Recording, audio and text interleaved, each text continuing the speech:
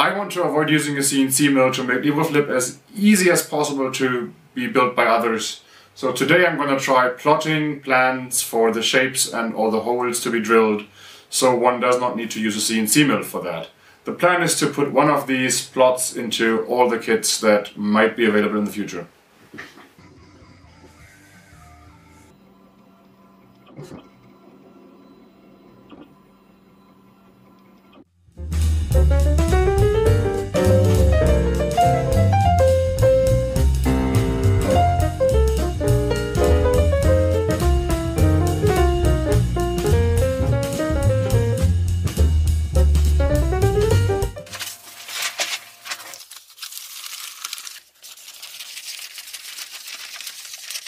Top piece on top of the machine that holds the walls together.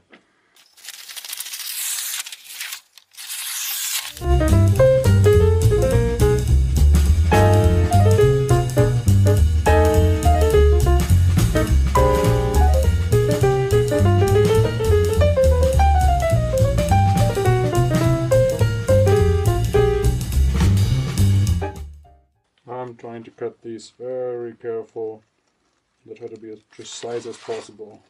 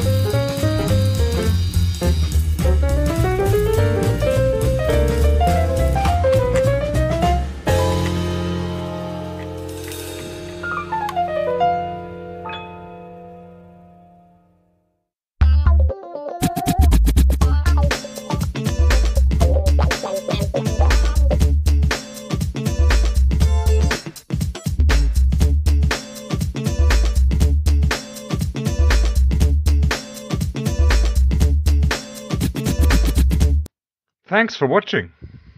And if you just made your way into this series, thanks for checking this out.